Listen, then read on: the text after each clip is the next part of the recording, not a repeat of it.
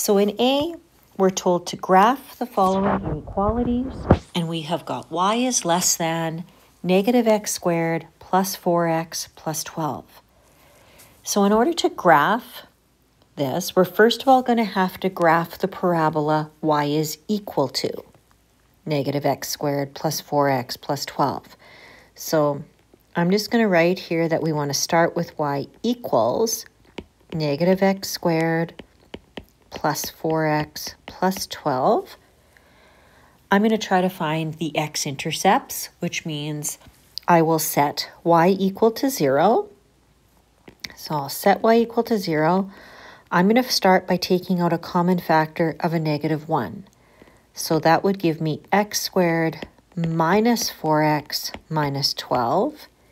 I'm doing that because it's easier to factor if I have a positive x squared.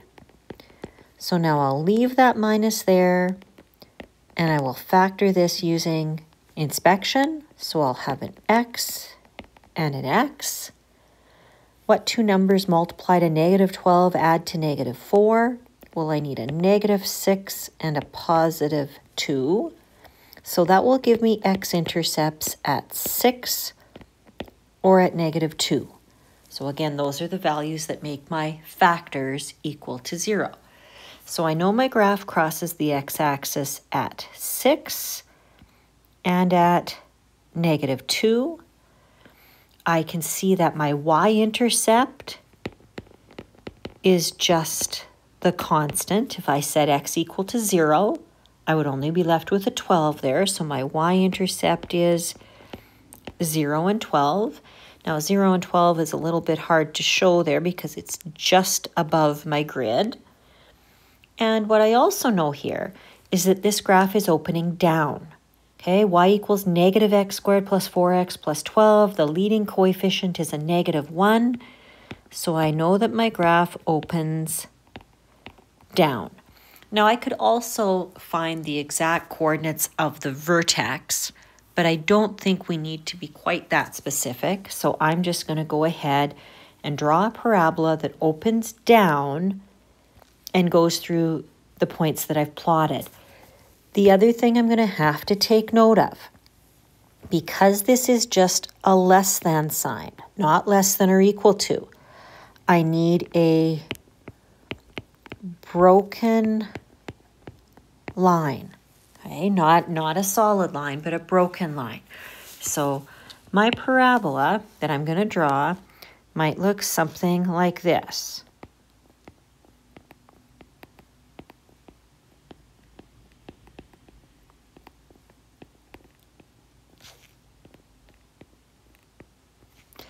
Now, I think it's important that you extend those arms all the way down to the bottom of your grid. Okay, now that broken armed parabola, that broken line parabola, divides my grid into two regions. I've got the region inside the parabola that's kind of underneath the mountain, and I've got the region outside of the arms. Okay, so on to the left or to the right of those or of the blue broken line. So what I need to do now is I need to decide which region am I going to shade in. So just like we were doing with linear inequalities in two variables, we choose a test point. I like to choose 0, 0, so I'm going to choose my test point, which is going to be 0, 0. I go up here to my original inequality. That's y is less than negative x squared plus 4x plus 12. I'm going to put 0, the x coordinate, in for x. I will put the y coordinate in for y. And I'm going to see if this satisfies the inequality. I'm going to see if this is true or not. So I would have 0 is less than negative, actually, nope, just, just kidding there. It, I would have 0 is less than the negative of 0 squared plus 4 times 0 plus 12. Working that out, it would mean that 0 is less than. On the right-hand side, I'm just going to have 12, and I think that 0 is less than 12. That is definitely true. So it means I shade the region that contains my test point. So I'll just go over here and I'm going to say because my test point made the inequality true, I would want to shade the region that contains the test point. Shade the region that contains the test point. So I go up here to the graph. I find where my test point is. That's 0, 0. That test point is located inside the parabola. So I'm going to shade the entire region inside my parabola. And what this means is any points located in that pink shaded region, if I take any point that lies in there, its coordinates will satisfy the inequality and it'll make my inequality true. All right.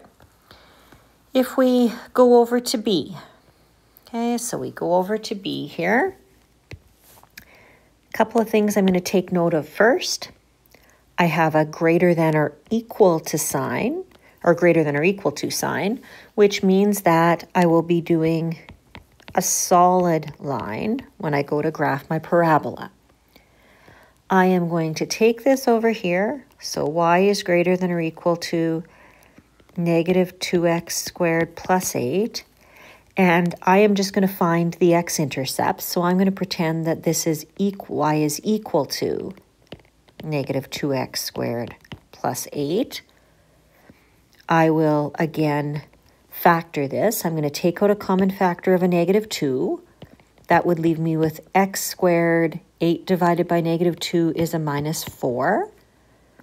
I will further factor this difference of squares, x plus 2, x minus 2. And to find my x-intercepts, I'll set y equal to 0.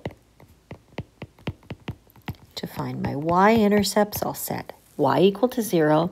And I hope I said that right. To find the x-intercepts, I'll set y equal to 0. And I'll get x equals negative 2 or x equals positive 2. So those are my x intercepts. So I'll go over to my graph. I'll plot my x-intercepts at negative 2 and positive 2. I will take note that my y-intercept, y-intercept is the constant up there, so that's 0 and 8. If I replaced x with 0, I would have a y-intercept of 8. So I'll plot that on here. y-intercept is 8. And I also know that the leading coefficient here is a negative, so my graph opens down.